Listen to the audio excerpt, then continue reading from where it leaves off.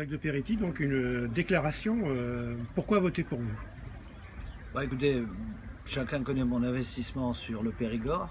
Chacun connaît également ma fidélité aux valeurs que j'ai toujours défendues par euh, une filiation euh, Jacques Chirac, euh, Juppé.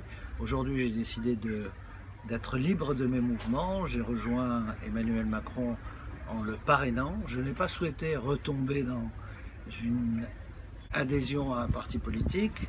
Euh, en revanche, euh, si je suis élu à l'Assemblée, bien sûr, j'apporterai mon soutien plein et entier euh, au programme du gouvernement et notamment son Premier ministre Édouard Philippe, puisque vous savez qu'il était comme moi dans les équipes d'Alain Juppé.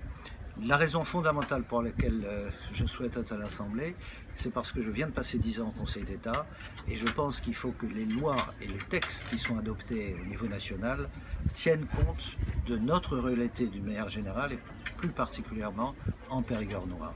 C'est là ma seule ambition, je souhaite siéger à la commission des lois et y travailler jour et nuit de manière à ce qu'on ne se retrouve pas dans ces situations comme celle de l'application de la loi LUR, de la loi NOTRe, comme euh, celle euh, qui concerne euh, notamment la fracture numérique, où nous avons été oubliés pendant un certain nombre d'années, comme celle qui concerne la continuité des soins, pour lesquels aucun problème aujourd'hui n'est réglé en ce qui concerne la, ruralité, et également pour tous les problèmes qui euh, sont relatifs à la mobilité. Est-ce qu'on peut trouver normal que Sarlat, euh, Bordeaux, on mette 3 heures alors que euh, Paris-Bordeaux, on va mettre 2 heures? Donc ce sont ces questions-là, il faut vraiment que nos textes, un droit souple, entrent sur notre territoire et s'appliquent avec un peu de bon sens. Et tous les élus le savent parce qu'ils ont du bon sens.